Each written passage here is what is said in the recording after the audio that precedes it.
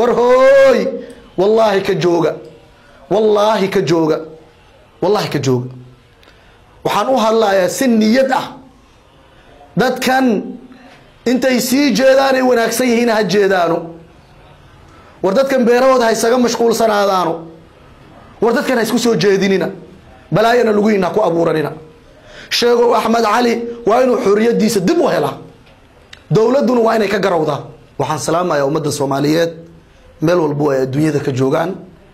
Waxaan u tacsiyeynayaa marxuumiintii sida xaqdarada ahaa ugu dhintay dagaalkii xalay ka dhacay magaalada muqdisho gaar ahaan degmada madiina. Runtii wax laga baaqsan karay ayay ahayd. Waxaana u aragnaa in uu ahaa dagaal abaabulan ama qorshaysan oo loogu talagalay in lagu dhibaateeyo genaraal sheegow axmed cali laguna bahdilo sumcadiisa iyo sharafkii uu ummaddan ku lahaa.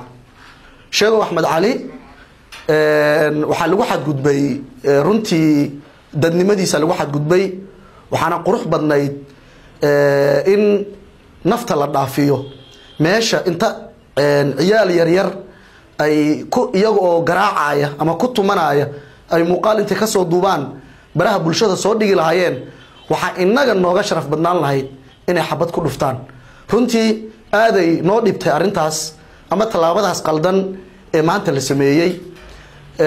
Muqdisho inay ku dagaalamaan laba ciidan. Ugumaysan uguma uusan horeyn sheegow. Genaraal ama mas'uul ka tirsan ciidanka militariga ciidankiisa iyo ciidan kale oo boolisa oo dagaal ku dhex maro muqdishona uguma uusan horeyn isaga laakiin tallaabadan la qaaday ee foosha xumayd. Waxaan u aragnaa innaga inay tahay mid beegsi waxaan u aragnaa inay tahay faquuq waxaan u aragnaa discrimination. Wixii dalkan ka socday dhibaatadiina lagu hayay in la sii laba jibaarayo runtii waxaan daawaday oo igu kalifay inaan shirkan jaraa-id qabto nin afhayeenka ah ee booliska soomaaliya oo siduu doono isaga hadlay. Ma aqaano hadday maskaxdiisa joogtay markii uu hadlayay iyo haddii si kale ay wax ka ahaayeen ma garan karo laakiin siduu doono u hadlay. Marka hore waxaan rabaa in ummadda soomaaliyeed u caddeeyo galka ciidamada militariga booliis kuma haayaan shaqana kuma leh. Waxayna kala yihiin laba hay'adood oo kala madax bannaan. Xitaa wasaaradaha ay kala ka kala tirsan yihiin oo wasaaradda gaashaandhigga iyo wasaaradda amniga. Dad shaqo isku le maa inuu maanta genaraal sheegow yiraahdo genaraal ma ahayn dhamuu ahaa. Yacni waxay muujinaysaa in xitaa aanan loo ogolaanin wixii ilaahay siiyey ama ama ama sharafkii iyo iyo iyo cisigii ilaahay siiyey inaan xataa loo ogolayn. Madaxweynaha jamhuuriyadda federaalk soomaaliya mudane xasan sheekh maxamuud ee talada haaya xilligan xilligii ka horeeyey isagaa magacaabay. Isagaa darajadaas siiyey wuxuuna darajadaas ku mutaystay sheegow axmed cali inuu la dagaalamay khawaariijta kana xureeyey deegaano badan oo gobolka hiiraan. Ka tirsan ka tirsan gobolka shabeellada dhexe ka tirsan gobolka shabeellada hoose. Waxaa xusid mudan buulo burde oo geeri go-an ku jirta oo aan la geli karin lagana soo bixi karin in genaraal sheegow axmed cali uu ahaa ninkii furay. Geesinimadiisu ku qaatay generaalka madaxweynaha jamhuuriyadda federaalkana siiyey mana u malaynaayo. Madaxweyne xasan sheekh maxamuud in raalli uu ka yahay wixii maanta dhacay. Booliska soomaaliyeed way dagaalameen. Iyo iyo iyo iyo axmed cali laakiin siday u dhigeen ama ay yani warka u dhigeen ma ahayn wax la aqbali kara ma aysan ahayn. Waxay ku eedeeyeen inuu lacago madoowa samaysto oo lacagta madoweyd u haysto oo lacago faalisa samaysto waa kadaa'ibnimo waa waxba kama jiraan. Waa been hadda la dhoodhoobaayo. Waa u samayn dembi uusan lahayn. Waxaan ognahay in la weeraray gurigiisa oo xabad lagu riday. Nin xabad haysta haddaad xabad ku ridana wuu isdifaacaya. Intuu isdifaaci karay oo ilaahay uu awoodsiiyeyna wuu isdifaacay. Haddii ugu dambayn la qabtayna qaabka loola dhaqmay qaab aan mahdinay ma aha. Qaab aan mahdinay ma aha sheegow axmed cali waa sharafka naga. Sheegow axmed cali waa sharafka jareerta waaye sheegow axmed cali annaga wuxuu noo yahay annaga wuxuu noo yahay. Kan dadkeenna ugu qiimaha badan uu noo yahay. Meeshuu daaroodka morgan u joogo muuse suudiyana u joogo hawiye ayuu annaga noo jooga sheegow axmed cali waxaan rabaa inaan dowladda soomaaliya ugu baaqo.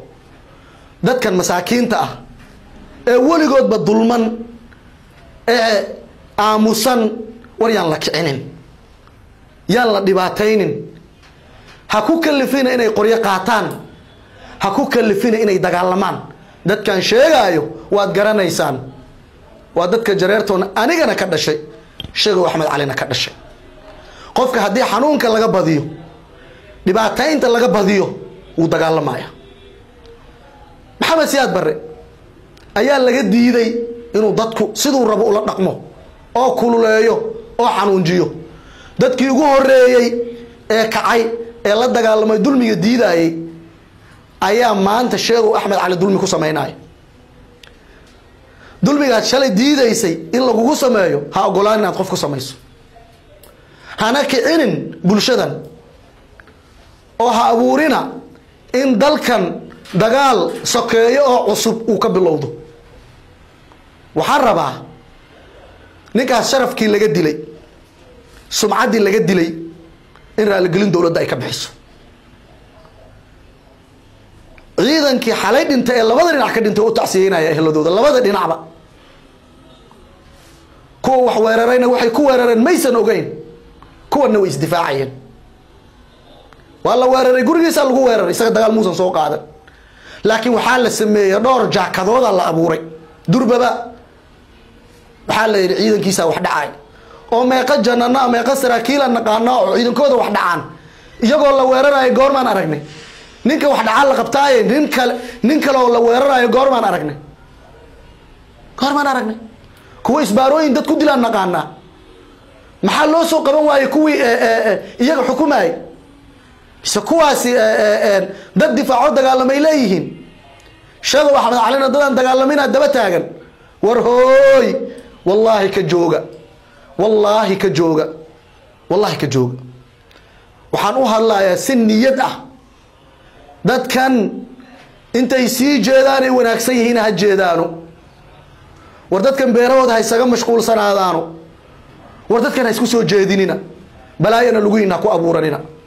Sheegow axmed cali waa inuu xoriyadiisa dib u helaa. Dowladduna waa inay ka garawdaa xoriyadiisa waa inuu dib u helaa waktigii wuxuu joogaa looga faa'iidaysan lahaa qawaariijta in lagula dagaalamo. Wuxuu leeyahay khibrad ciidan uu leeyahay. Waa nin geesiya oo aan gaban. Waa nin geesi oo aan gaban. Waxaan leeyahay dowladda soomaaliya uga faa'iidaysa sheegow axmed cali inuu dalkan xoreeyo. Ee sheegow axmed cali dartiis yuusan dagaal sokeeya u dhicin. Bulsho badanaa daawanaysa. Oo uu indho u yahay wallaahi bulsho badan uu indho u yahay oo daawanaysa. Waxa dhacay kuma qanacsanin. Waxyaabihii cajiibka laha waxaa ka mid a. Ilmo yar yar oo foodley ah oo kuwii askari maroodi la dhahay aan ka dhex arkaayo qaybtood oo aan ciidan saxa ahayn ayaa intay kuleetiga soo qabteen ku korka takbiir aksanaya oo allahu akbar ku duldhahaya ma nin gaalay qabteen? Wadasmiin xaggee ku aragnay? Xaggee ku aragnay maxayse tahay? Inta kuleetigiisa la qabtay sababta looga daba orinaayo mar hedha hala xishoodo. Hala xishoodo. Dagaal sokeeyeen yaan la abuurin. Dadkan yaan madaxa la isu gelinin. Ummaddan masaakiinta ee aamusan ee sii jeedana yaan la soo kicinin. Mar kale madaxweynaha jamhuuriyadda federaalka soomaaliya waxaan ugu baaqayaa in arrintan jawaab deg dega uu ka bixiyo sheegow axmed calina xoriyaddiisa la siiyo madaxweynaha dowladda hirshabeelle oan aniga ka tirsanaya xukuumad ahaan mudane cali gudlaabe xuseen waxaan ka codsanayaa inuu raadiyo cadaaladda sheegow axmed cali. Waa muwaadin reer hirshabeelle ah. Waa jenaraal hirshabeelle ka soo jeeda. Waa jenaraal qayb ka noqda xureynta deegaano badan oo hirshabeelle waana jenaraal aan uga faa'iidaysan karno qaybta noo dhiman ee hirshabeelle inaan ku xurayno laga yaabee inay qiiradu iqaaday si adagna aan u hadlay. Laakiin wax kastoo aan idhi waa wax lagama maarmaan ah inaan dhaho. Ninkaas inuu xorriyadiisa helana wax lagama maarmaana dadkaygan la hadlaya. Dadkaygow dadkaygow waad u jeedaan waddanka xaalkiisa iyo sida uu yahay. Waad u jeedaan sida waddanka uu yahay. Sidaa tiin isu dhaama waad salaamantihiin wasiir ku-xigeenka wasaaradda dowlad goboleedka hirshabeelle dhanka warfaafinta mudane cabdishakuur shaashaa waxaan ahay maamul mutawakil waxaan rabaa inaan dhowr su'aalood kaa weydiiyo shirkan jaraa'id aad qabanayso. Kow waxaad isku keen qabataa afyeenka ciidanka booliska soomaaliyeed oo warbaahinta la hadla waxa uu ku sheegay kabtan horay looga bixiyey ciidanka qadabka sida. Adna weli waxaad taagan tahay waa genaraale arrintaas isku qabadsii sidoo kale waxaan kaa rabaa maanta shirkan jaraa'ida hadda aad qabanayso warbaahinta qabanayso si adag ayaad uga hadashay. Marka dhinac loo eego cid ahaan ku-heeb ayaa tahay sheegow bal maalintii adigu dadkaagu la qabtanay inaad sidaa u hadasho maalintii aad rabto in wax kale laga hadlana in si kale u hadasho bal isku keen qabadsii ma dowladnimadaad hadda ka soo bixi rabtaayo hirshabelle aad ku jirtaa? Mise aan hanaanku waxa weeyaan sida sheegow loola dhaqmay ayaa wax qaldan kuula muuqday nin ahayd waa mahadsantahay laba su'aalo isku sidkanaad weydiisay su'aasha kood aan kaaga jawaabo. Afhayeenka booliska dee markaad ku laabato shirkiisii jaraa-id nin wareersan uu ahaaba. Mar wuxuu sheegay dhaawaca inay afar ahaayeen labada dhinac. Marna wuxuu sheegay inay toddoba ahaayeen. Waxaad garan kartaa wuxuu ku hadlaya nimaanan aqoon inuu ahaa.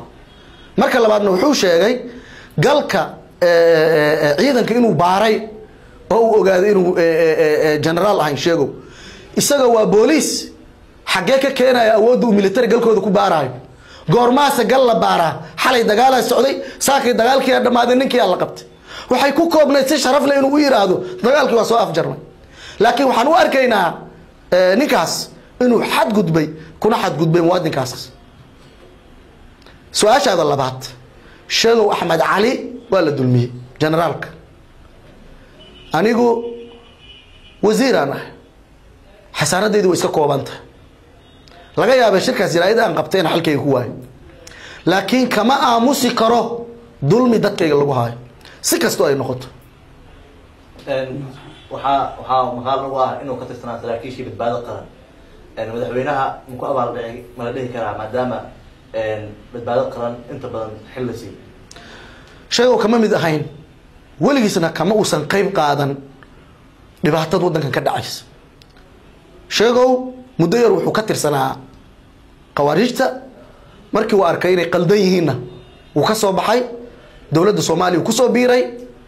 Dowladda soomaaliya muddo ka barbar dagaalamayay deegaano badanna wuu xoreeyey laguma jisaari karo. Deegaanadii uu xoreeyeyna waa la yaqaana markii dambena madaxweynihii jamhuuriyadda federaalka xasan sheekh maxamuud oo xilligaas joogay ayaa u arkay inuu geesi yahay nin khibrad leeyahay mudanna yahay in loo magacaabo darajadaas generaalka ciidamadii qabtay qaarkood waxaad ku tilmaantay inay askar maroodi ahaayeen waxayna ahaayeen sida ma dowladdu sheegtay ciidanka xasilinta caasimadda bal arrintaas muskaan qabadsiya way isku jireen. Annaga xogta waan haynaa ciidanku way isku jireen ciidanka weeraray ciidanka dowladda ma wada ahayn. Sheegow axmed cali si saxan u sheegaynaa qabiila loo ataagay arrimo arsiya loo weeraray waxaa jirta deegaanadii uu shabaabka ka xureynayay dad ka xumaa inay weerarkiisa qayb ka yihiin. Waana caddaynaynaa wayna caddahay wasiir halka dhibka uu ka dhacay mana sheegi kartaa oo aad leedahay deegaanadii uu xirey mid ka mid ah dhibka dhacay. Runtii de meelo badan uu ka dagaalamay. Waadna garan kartaan qabiilka maanta heerka uu gaarsiisan yahay waddankeenna. Qofka maanta isagoo shabaab haddaad la dagaalanto wuxuu kuu qaadayaa takani berri wuxuu kuu soo galayaa dowladda wuxuuna kugula dagaalamayaa takanihii shalay uu ku qaaday. Waxaan naqaanaa rag badan oo qawaariijta ka tirsanaa oo maanta saraakiil ciidana. Laga yaaba kuwaas kuwii uu kula dagaalamay iyadoo shabaaba inay ahaayeen.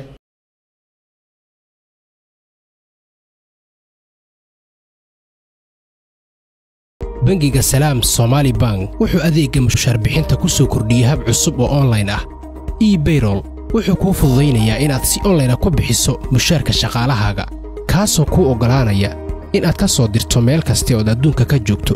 Salaam somaali bank waxaa ka go'an inuu kaa caawiyo weeragnimada ugu wanaagsan ee suurtagalka ah ee bangiyada caalamiga ah iyadoo adeegga ebayrol uu ka mid yahay kuwa ugu muhiimsan ee uu bangiga bixinayo